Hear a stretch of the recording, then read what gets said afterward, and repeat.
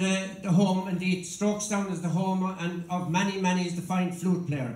And she's playing flute for us tonight. She's going to play um, the local air from County Roscommon describing a place. And the, the, the air is called Easter Snow. And she's going to follow that with The Bride's Favourite and Sweet Biddy Daly, two jigs. And I want her to welcome Shirley Rogers.